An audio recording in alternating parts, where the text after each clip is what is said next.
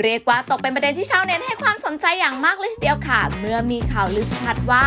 คู่รักของนางเอกสาวใบเฟิร์นพิชนกกับหนุ่มนายนภัสเลิกกันไปนทีเรียบร้อย แล้วต่อมานะคะทางด้านสาวใบเฟิร์นค่ะ ก็ชิงสื่อกลางวงซ้ำไม่ตอบเรื่องนี้จนต่อมานะคะทางด้านนายนภัสนะคะ ก็ออกมาชี้แจงเรื่องราวที่เกิดขึ้น